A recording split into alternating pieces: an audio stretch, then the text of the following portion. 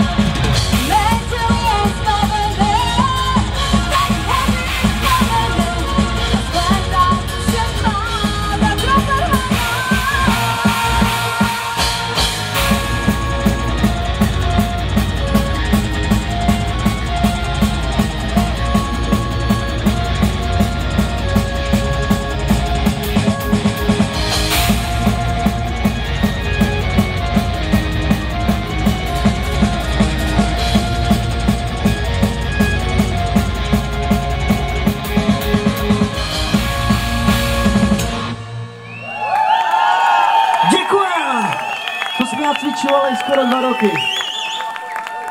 Karunko, já tě vidím. Děkujem. Tak, jo, my